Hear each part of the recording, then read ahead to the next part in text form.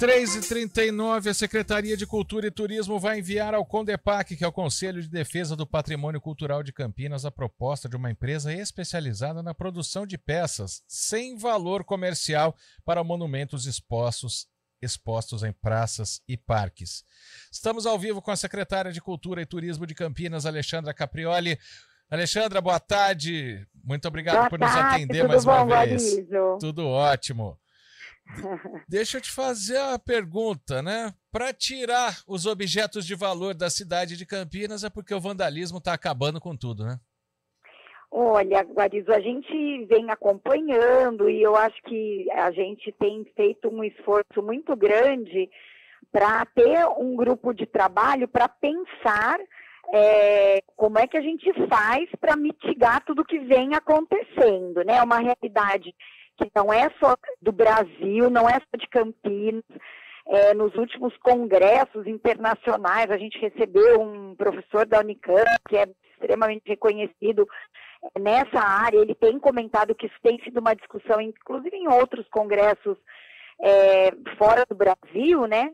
É, porque, lógico, a gente fala de vandalismo no Brasil é, e os monumentos se perdem, mas a gente tem intempéries, tem condições de, de terremotos, tem outras situações que também acontecem onde não há a, a, a preservação dos monumentos. Né? No Brasil, hoje, a gente tem um, um fator importante, que é que esses monumentos são feitos de materiais que têm um valor comercial extremamente alto, e com isso, é, no âmbito de fragilidade social, muitas vezes é a esses monumentos que eles recolhem, que eles recorrem, né, para, é, é por exemplo, fazer uma comercialização é, e, e, poder ter um recurso, né, muitas vezes é, totalmente no mercado paralelo, né, a gente sabe disso.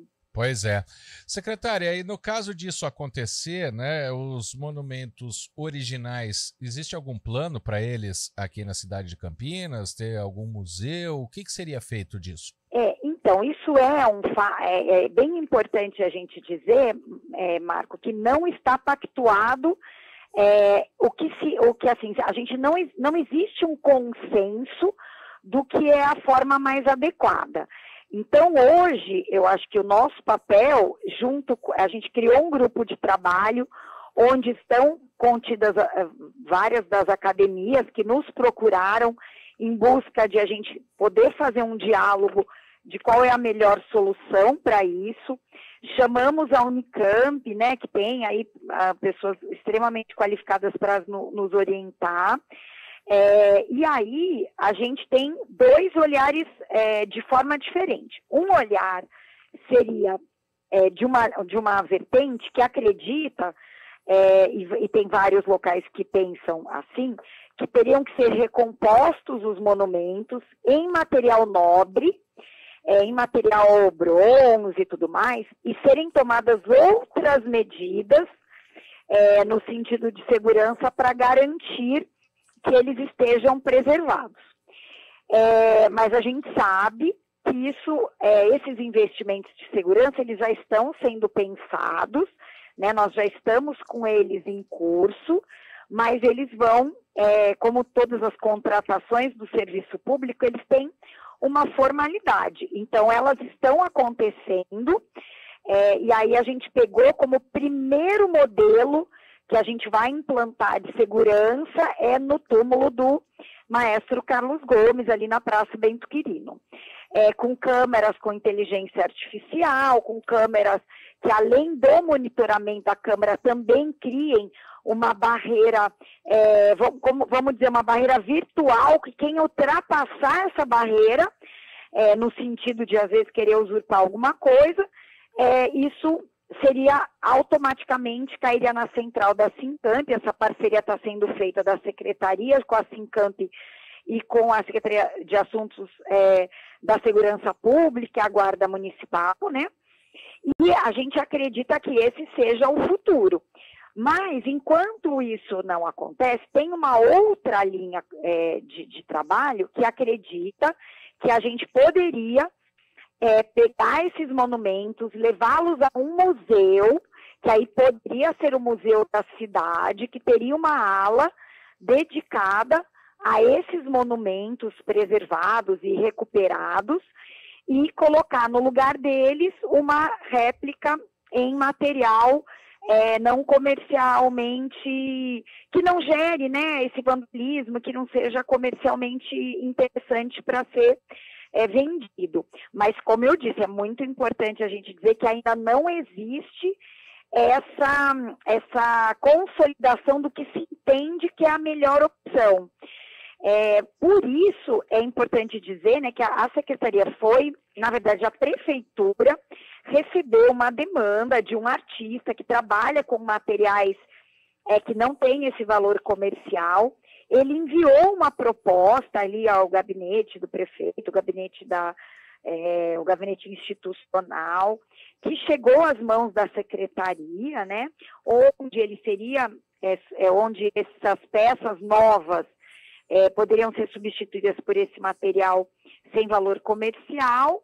E a gente entendeu que a melhor opção seria apresentar essa proposta de forma ainda embrionária, mas levá-la ao CONDEPAC para a gente também criar um entendimento de como os conselheiros do CONDEPAC, já que a gente está falando de monumentos, esculturas, que são tombadas pelo patrimônio histórico, né? Então, vai depender de uma validação junto ao CONDEPAC. Né? Então, eu acho que são, são várias iniciativas que têm que correr paralelamente, e é, é, a gente sabe que uma muito importante é essa questão da segurança, que a gente já está trabalhando, e, essa, e a segunda, ela é essa que está ainda em decisão, né, que o CONDEPAC ainda vai se manifestar, vai talvez criar um grupo de trabalho para ter um maior estudo, é como é a melhor maneira da gente recuperar esses monumentos, né? Perfeito. E, mas é, é, eu acho que é um desejo de todos nós. E aí, Marco, eu acho que é muito importante a gente dizer que dentro de tudo isso, a gente também acredita muito num processo de educação patrimonial, porque as pessoas elas só passam a preservar quando elas têm pertencimento. Então é também fazer um trabalho com as escolas, para as crianças conhecerem os nossos personagens que estão representados nessas esculturas, e, e, e, fazer isso de uma forma lúdica, porque a educação patrimonial também é uma forma de preservação, né? Sim. É, para não ter pichação, para não ter Perfeito. esses furtos. Então, são várias, é, vários olhares sobre um mesmo problema, e, mas a gente tem que enfrentá-lo, né? A gente Sem não dúvida. pode fazer vistas grossas. Alexandra Caprioli, secretária de Cultura e Turismo de Campinas, a gente vai voltar a falar sobre esse assunto aqui. Falamos primeiramente né, a ideia e depois a gente vai falar assim que tiver é, já confirmada né, essa parceria, essa substituição. Muito obrigado pela entrevista, secretária. Boa Eu tarde, agradeço, bom fim de semana. Obrigada pela oportunidade. Um abraço. Um abraço. 3h48.